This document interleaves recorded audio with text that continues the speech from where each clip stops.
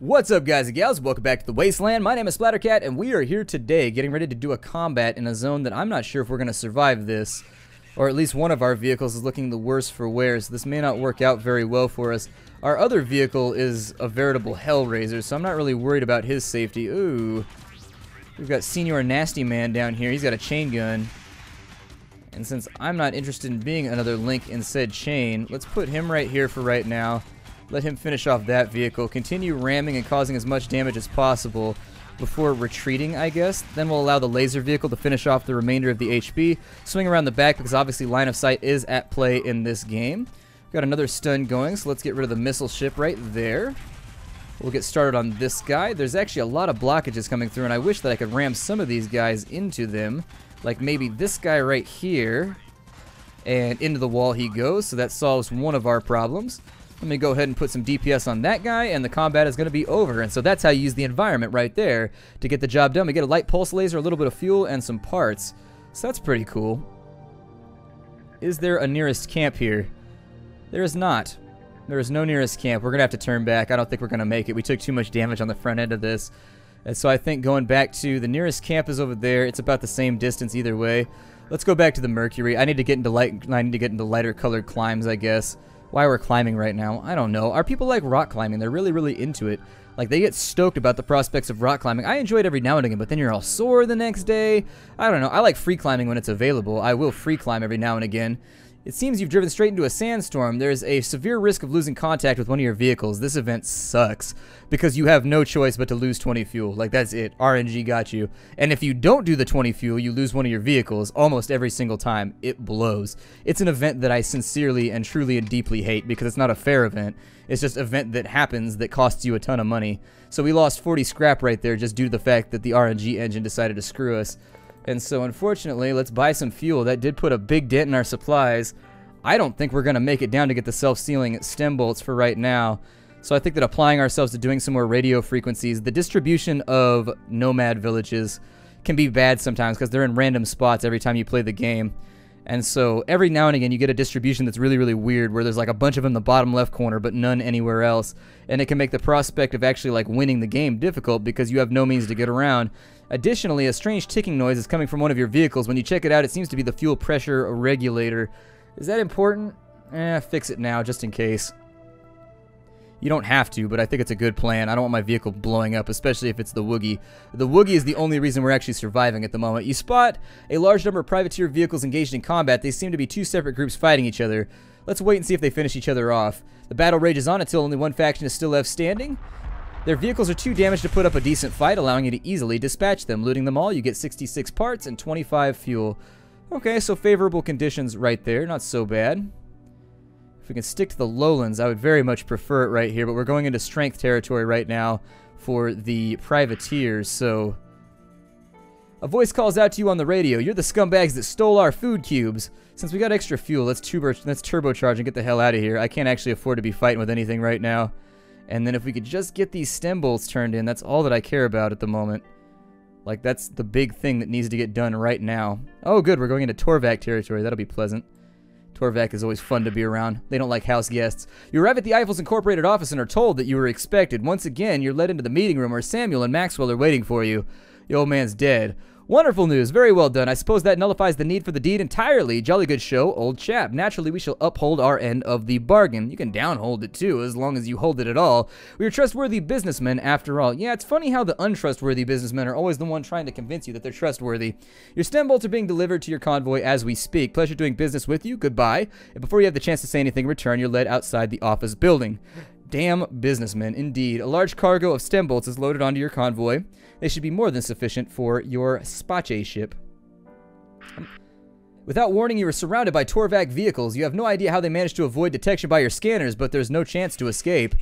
Okay, so into a Batal we go.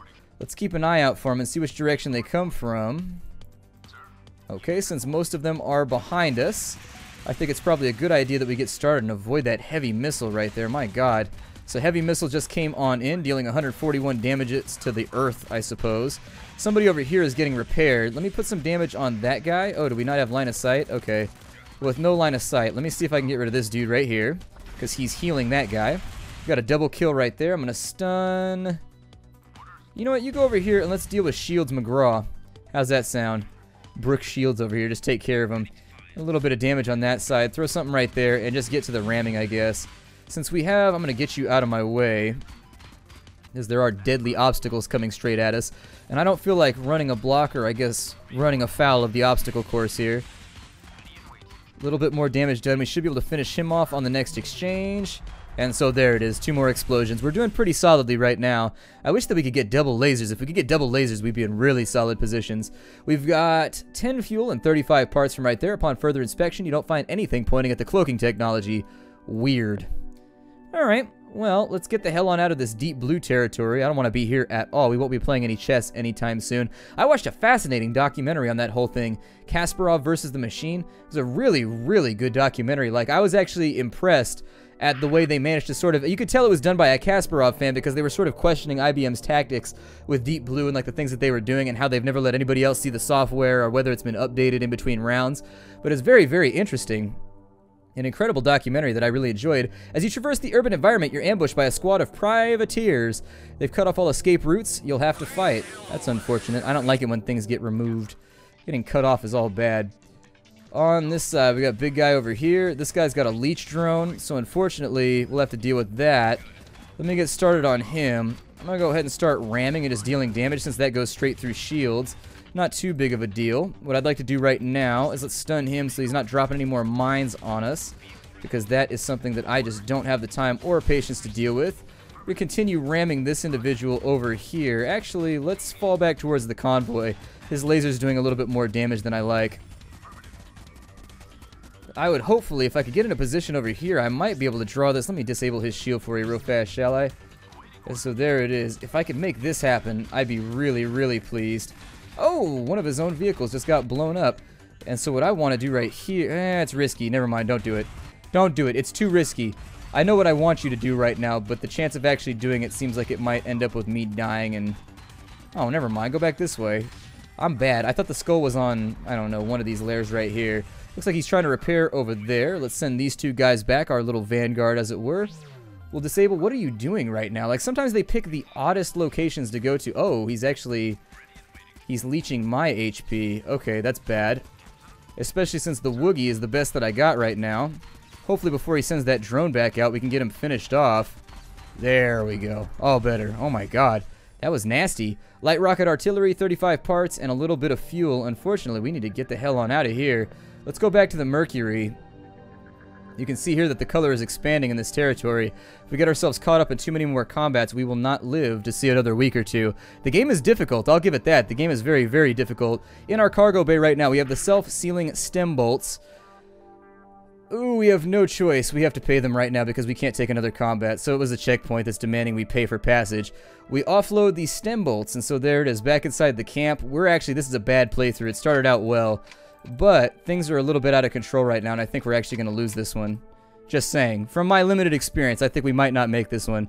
Let's go for a little bit of armor and a little bit of health right there. We're low on fuel, so obviously we're going to have to drop a whole bunch of cash buying that. Alright, and let's head off in a different direction, shall we? I figure what's closest from here? We can go with the flux capacitor, which is over this way. Let's go after the flux capacitor, shall we? We've got to go a local professor in Olmec Prime. Okay, so that works out for me right now. That'll give us a chance to have a look around for better loot and also to get into a few more fights. As I said in the previous episode, this game does have a lot of combat, and if the combat doesn't grip you immediately, it's probably not a game I would recommend because you're going to be doing it a lot. I mean, I would say 90% of the events end with combat.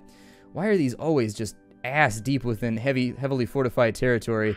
Let's see, you arrive at the professor's laboratory. The plot around it is littered with various bits of machinery, presumably discarded experiments, whilst the laboratory itself appears to be an old hangar. Approach the laboratory. You enter the laboratory, which is filled with machines and experiments making all kinds of sounds. Amidst the chaos, the professor is running around pulling levers, adjusting dials, and scribbling notes whilst mumbling to himself. He notices you and approaches. Hello, my name is Professor. Used to have a different name, but I forgot. Hardly any use for a name anyways. Ha ha. Ask about the flux capacitor. So, a flux capacitor, you say? You came to the right place. I'm quite the expert on those babies. I can build you one suitable for a spaceship, but I haven't got everything I need. In order to generate the required 1.21 gigawatts, I'll need a highly volatile energy source, which I haven't got lying around. But I know where I can find some. Only Torvak has access to energy sources of this magnitude, so if you could acquire an energy pylon and bring it back, I could fix you up with a flux capacitor and use the excess energy for my own projects. We have a deal, yes? Okay, sure. Ha, wonderful. Okay, so I know of a Torvac pylon facility which will suffice. I'll enter the coordinates to your map and you can head over and acquire one that should provide plenty of energy. Excellent, you must be on your way then. Okay, goodbye. The professor heads back to the laboratory frantically. What happens if we follow him inside? I bet something bad happens. Flux capacitor's way off the left. I'm going to suggest we find a camp because our fuel's looking a little bit low. And of course, it's going to be ankle deep inside the high level territory. I don't know. I feel like the territories expand too quickly in this game. I really sincerely do. Like, I feel like I'm always behind the eight ball no matter how fast I work in this game. Let's disable his shield. Yeah, we're definitely going to have to get rid of this guy right now because he's using a drain drone. Oh, that sucks so much. How is he able to have a drain drone on like a normal craft? Oh, never mind. He's getting healed by that guy over there too. Luckily, the AI has decided to generously protect us from debris, so that works out pretty well. Let's start moving in this direction. And I'd like to keep lasers on him. Let's move forward. If we could put some lasers on him, that'd be cool too. I think this combat should be over pretty quickly. Let me stop this mine layer from getting us all nice and laid out with mines right now because I don't feel like dealing with it. A little bit more damage done right there. Get in here and ram on this guy for a moment or two. Nobody's targeting him for some reason. Let me get out of the way of that obstacle and make sure that our opponent... Oh, never mind. Well, I'll do a little bit more damage right there, and that should end the fight, won't it? And there it is. We completed the fight. So that should give us a little bit more fuel to play around with. We got a Mark 1 shield, which is pretty cool. Yikes. This is going to get ugly really, really fast. And I think this is actually... Can I turn this off? Is this actually disableable? Because I know this is like the worst territory ever. Entirely... The entire map will eventually be covered with deep colors. You spot a wreck partially covered by sand. It blows up when you go near it. Spoiler alert, don't go near it. It's a bad plan. It's not going to work out for you or anybody that you know. I'm going to scrap both the things we picked up along the way so that we can actually repair a little bit better while we're here. There it is. We've got 100 left over. Unfortunately, it's not really going to buy anything here aside from the fuel we need to keep on trucking. So there it is. Where does that leave us with regards to our access to the flux capacitor? Leaves us a little bit closer. Let's see what we can do here. This also looks like it leads out the back end of that territory, so it might be a decent plan. Yeah, that's not too terrible. As you traverse the stressed desert, you spot several wrecks partially buried by the sand, likely the victims of local privateers. Onwards, ignore those. You get attacked when you go near them. I'm giving you lots of spoiler alerts today, but basically everything in this game ends up with you getting attacked. Like, I don't want to be a dick and, like, ruin the magic of the whole thing, but everything ends up with you getting shot, blown up, or attacked. So just don't put yourself at risk if you can help it. You arrive at the Torvak pylon facility. It is teeming with activity. It is surrounded by numerous Torvak vehicles. We radio the facility. We are the Torvak. This facility is out of bounds for non-Torvak. Please state your business. I don't want to demand an energy source. I want to drive away. After a slight pause, they respond by stating, We understand. It is unprecedented to hand over one of our energy pylons to non-Torvak. Probability of our success when engaging in combat is insufficient to validate refusing your request. We agree. Prepare for the approach of one of our transport vehicles. We suggest you abstain from mentioning this incident to anyone. A transport vehicle appears from within Torvak pylon facility and approaches your convoy. It delivers the energy pylon to your convoy before heading back to the facility. You put it on your convoy and head out. Oh. Okay, that went better than expected. There's a foul stench on the wind. Yeah, let us not tarry for long. Nobody wants to be tarry for any extended amount of time. Right now, I think we're probably going to have to hit, given our fuel situation, we'll probably have to hit a village over here somewhere before we can get anything else done.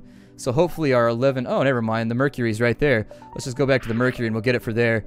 We have shots fired. Let's go ahead and prepare for battle because we actually need the extra scrap in order to supply ourselves properly with fuel. I also don't like how your vehicles maintain their same position after combat. I don't know if maybe I can rearrange that somehow, but I would love to do so. So we've got a repair vehicle over there that's kind of getting his thing on right now. Continue firing at him. If we can kill him off, that would be Excelsior. Disable his shield right now. And then we'll head over and start working on this little guy because they don't appear to be hitting us very hard. Is he at a range right now? There it is. And so give him a nice ramming. He looks like he needs it. And then get out of the way of that mine, please. On this side, let's line up for some more ramming, shall we? We'll disable his shield, and then we'll go ham mode on him, because I do enjoy ham every now and again. Having pushed him back, I need a clear line of sight so that he can continue firing.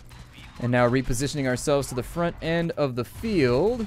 Ah, shit, he got me with a mine. Bastard. Little bastard. I hate mine layers. They're the worst. Because they don't even do anything. That's the thing is they just exploit the fact that you're dealing with other combats. Like, they use the same strategy every time, too. They just move to the front of the map and they just start dropping mines everywhere, making themselves a general nuisance. And I would say that they've earned the promotion. Being shot at right now. Let me stun him so that we know he's not going anywhere. And the moment that we come into range, let's unload on him with everything we've got from our laser bays. And so there it is, our laser bays. It's not actually a bay for lasers, it's actually a bunch of bay horses that fire lasers out of their eyes, and then we just duct tape them to the top of the craft, and it seems to work out pretty well. A light pulse laser, so that was actually lucrative. We might be able to get out of this in... Yeah, we might be able to get out of this in one piece. Let's camp right here. We've got a pulse laser. I'm going to scrap that because we don't need it. And looking at our health, we're actually okay. Let's just buy some more fuel and be on our way out. We'll go talk to the professor in just a moment. Hopefully with the excess energy, he'll be able to make himself some kind of hair combing device because it did say that he was particularly unkempt. The flux capacitor is up here to 121 to the north. Obviously, we're going to have to go through Torvak territory, and I don't think they're too happy with us right now. I mean, I didn't really want to demand the thing, but it worked out okay. From behind some dunes, a pack of Torvak vehicles approach your convoy, ready to attack. We have overestimated our chances we believe you to be, so I managed to intimidate them. That's good, because honestly, I don't think we can deal with too much more combat right now. We want to stay out of this. You drive past a Torvak Corporation checkpoint and they attempt to radio you. We greet you. We need you to transport our mil-spec ED-209 for us. We will pay well. Okay. A small Torvak vehicle delivers a cargo crate to your convoy. We are pleased. We will supply you with the appropriate coordinates. We will reward you upon... Okay, awesome. As you leave the Torvak checkpoint behind you, one of your engineers seeks you out. Excuse me, sir, but I was thinking perhaps we shouldn't deliver this Torvak mil-spec thing. We could try selling it on the black market, or I could have a look at it myself and see if I can figure out if it's worth something. I don't know if it's actually rigged up. An ED is probably, that's probably a Robocop reference, so this thing is probably remote controlled, and it'll more than likely wreck us if we don't do what they want. We'll deliver it. It'll be fine, I bet. Flux capacitor up here. How far away is that? It's back that way. Eh, we'll have to figure it out, I guess. Let's get back to the road here and make the best gas mileage that we can. It's not like we're driving Priuses here. Pri. You return to the professor's laboratory and approach. As you approach the lab, you hear the unmistakable sounds of combat. It appears the professor is being attacked by raiders. We intervene. Hooray! Yay for us being the good guys that we are. Let's take a shot right there, and I'd actually like you to close with him. Yeah, deal some damage right there. Let's go ahead and stun him up too. I like leaving my enemies stunned and unable to react. And so I think they should be able to finish him off shortly. We do have a lot of damage being dealt, unfortunately, and my characters are tripping over each other, which they have the tendency to do. It's not my favorite thing to deal with, but it happens. Let's go ahead and see if we can push them back and away from our convoy. I think that if I can make this happen, this might be survivable. I don't know. We might be able to get rid of this dude down here through the successful application of a stun bolt, but I don't even know if we're going to have the opportunity to do that. Continue firing at him while ramming him. Okay, swap targets. You start moving away so that we can deal with this threat right here. You move up and along this way. Ram him into the direct line of fire for that obstacle. Stun him and then get away. Goodbye, buddy. And so we got loot. The professor runs out of the laboratory and approaches the convoy. God, after a bunch of disgruntled raiders and or another bunch of disgruntled raiders unhappy about my belated paying for services, many thanks for your help disposing of them. We've got the energy pylon. Great, wonderful, excellent. Wow, this is amazing. A functional Torvak energy pylon. I've wanted to get my hands on one of these for ages. I'll get your flux capacitor running, no problem. Just a moment. He takes it and starts tinkering with it. After some time, he approaches you. I got it all working, ready for you to take back to your spaceship. The energy pylon has some energy left, but don't worry about it. I'll find some uses for it. He appears to have a slight maniacal grin on his face. You thank the professor and say goodbye before loading the flux capacitor onto your convoy. Okay. Where's the nearest camp, by the way? Like, where is that at? It's up to the north. We do have enough fuel to where we could make a run back. The mil-spec is down there. The mercury is also down. Urgh. one of your vehicles overheats due to the unforgiving sun, it is swiftly jury-rigged, but proper repairs require a garage. See, we just got dominated by RNG, and it's really unfortunate because we kind of need our trucks to be intact. So hopefully we can make it back to where we came from without anything else going wrong. I don't know. We'll have to see. Let's see here. As you drive through the city, you stumble upon a squad of privateers who are pillaging local houses. We can't take the combat right now, so we got to ignore it. The privateers seem more interested in continuing their pillaging than pursuing your convoy. We can't afford combat right now, so unfortunately, since our wallets are tapped out, let's just keep riding. Oh, there's a town down here. Oh. Let's just do that then. Alright, well this will get us back into combat pretty quickly. We may be out of fuel and we may be kind of SOL right now, but hopefully it's enough to get us by. We don't really have much to sell, so Eh. I don't mean to sell myself short, but this adventure might end shortly. You pass many rocky cliffs while traveling through the desert. A good deal of the wrecks litter the cliff sides and natural inclines, and they look pretty damaged.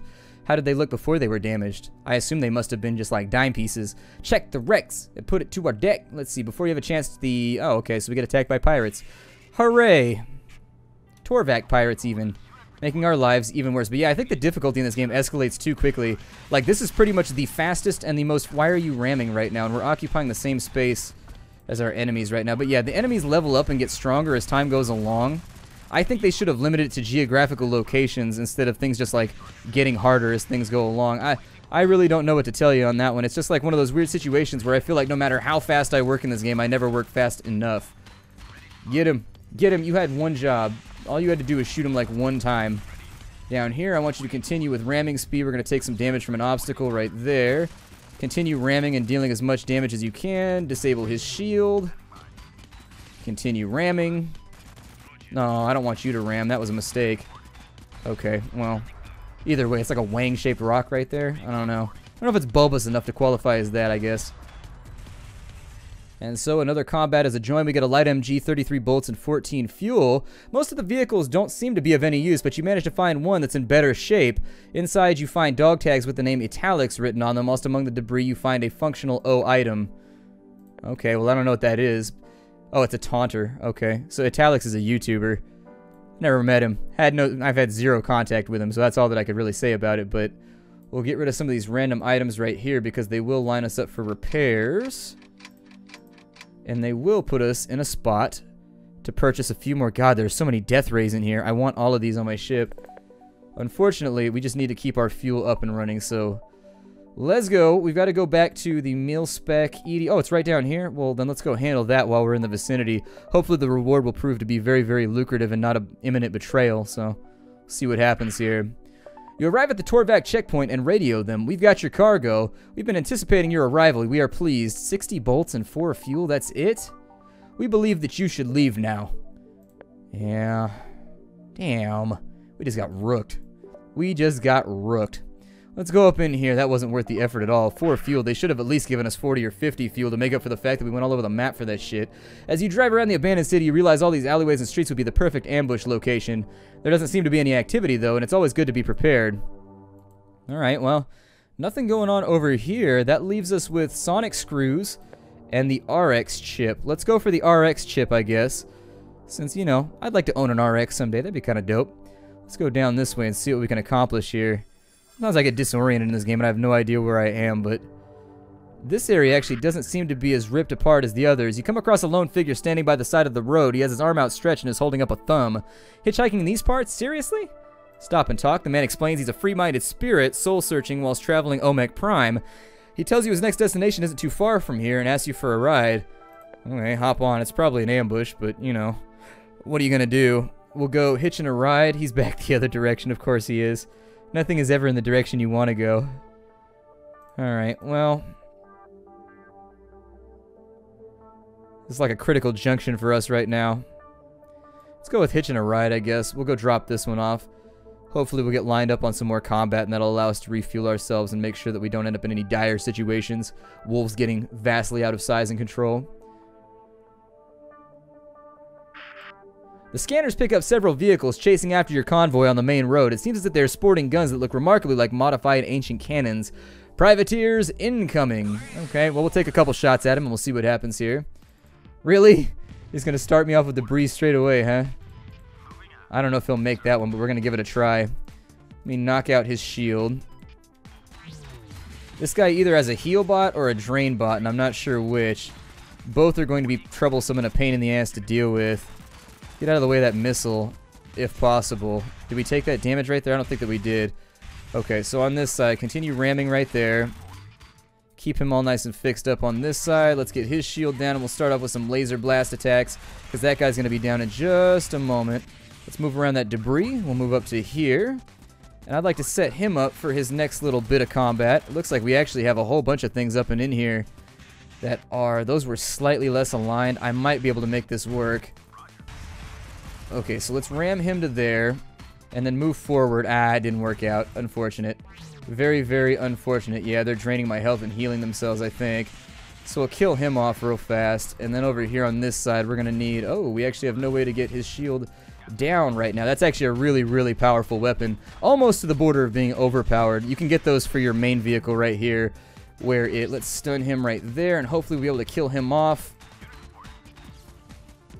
There it is. Okay, so the drone is really, really powerful. And in fact, the, the fact that we didn't have one spawn on our map is actually really, really bad for us. We got a little bit of loot, but not enough to repair anything. A little bit of fuel. Once again, things don't seem to be going our way. I'd throw it all backwards and pout right now, but I don't think it would help. We've got a camp back there. See if we can drop him off quickly without any hubbub, any ballyhoo. You arrive at the hitchhiker's indicated location. Hitchhiker hops off your convoy. Thanks a lot. I'm glad there's some other open-minded individuals in these wastelands. He starts walking away. Okay, well, what, no reward? He looks at you blankly. I don't really have anything. I thought you were having, like, I thought you were helping out of kindness. All right, well, good luck. Ah, kind-hearted after all. I knew I made the right choice to have a ride with you. You do deserve a reward. I have my own vehicle parked near here. Wait for me and I'll join you on your quest. Oh, cool, the flower power. I'd like to take a look and see what he's able to do since Woogie's actually a little bit roughed up right now. You come across a lone figure wandering the wastelands. It appears to be a blind man in brown robes. Did he brown them himself? Was he doing a little bit of homebrew art? Or are they brown to begin with via dye? Stop and talk. The man looks straight at your convoy despite being blind and proclaims empathy must be limited. Ultimately, empathic gift blurs the boundaries between hunter and victim, between the successful and the defeated. Okay, you are suddenly surrounded by a blinding flash. The old man has disappeared. So did he blind us by flashing us, or did he pull like some ninja bujitsu action right there? I always wanted to leave a room by dropping a flash bomb. I always thought that'd be real satisfying. Batman style. Just like, psh, I hate it when he does that. Let's go back to this little village over here. We'll refuel and we'll get repaired up, and I think that'll put us back on the road, and we will be about ready to go after that RX chip, I think. I don't know how much fuel we're going to be able to barter for here. Hopefully enough. Well, that's going to have to do her for right now, I guess. I don't know, when I watched other people play this game on YouTube, it seemed like their loot was a lot better than mine. Like, it seemed like when they won fights, they got like 75 bolts and like good stuff. Now it seems like you barely get scraps for everything other than quests. But nonetheless, my name is Splattercat. Thank you for joining me here at the Nerd Castle for the next episode of Convoy. I'll see you later. Hi, do everybody.